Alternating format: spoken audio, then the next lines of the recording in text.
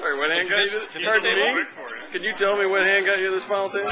Oh, to the final uh, Well, no, no. I mean, what's is the biggest hand you had today? uh, the biggest hand was the royal flush. You had a royal flush. That would be the biggest. What suit? Uh, hearts Uh, against what? against uh, aces. Against Ace- aces. Ace jack suited versus aces. Wow. To buy a lottery ticket? Well, leave That's awesome. Congrats, man. That's unbelievable.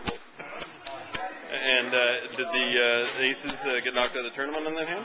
Uh, yes, he did. And is he uh, crying in the parking lot right now? Um, I'm looking for my uh, bodyguard. I'm looking for my bodyguard to go out into the parking lot. All right. Cheers.